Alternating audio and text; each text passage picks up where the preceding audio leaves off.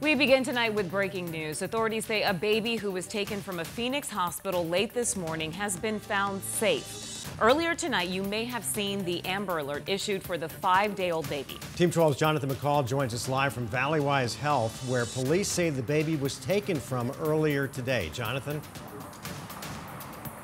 Yeah, Mark Caribe, good evening. Phoenix police in just the last 10 minutes issuing a tweet saying that baby Santana has been brought back here to Valleywise Medical Center where he is undergoing proper medical treatment. In just the last five minutes or so, we did see a police, a Phoenix police escort and a Phoenix uh, fire ambulance uh, coming down Roosevelt here, going back into Valleywise Medical Center. Likely the ambulance carrying little baby Santana as he's going back into the hospital to receive receive that medical treatment. As for his mother, Rosa, we are told that she is now in police custody at this time as detectives try to continue investigate the details of how this all happened.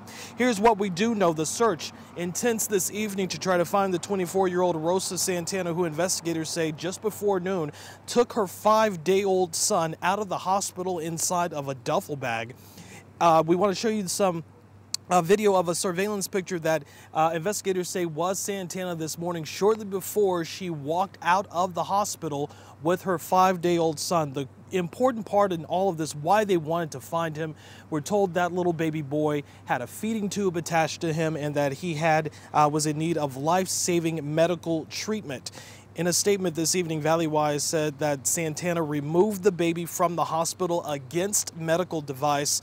They went on to say that they are still cooperating with law enforcement and the safety and security of each patient is integral to the mission of our hospital. But again, the good news tonight, that five-day-old baby boy now back here at the hospital getting the treatment that he needs. There are still plenty of questions, though, tonight that we're working to get answers from Phoenix Police specifically specifically exactly why did it take some seven hours, seven hours for this Amber Alert to be issued. One of the things that we will be following up on, but again, the good news, that five-day-old baby boy back here in the hospital getting the treatment that he needs and the investigation into how he was able to be removed ongoing tonight.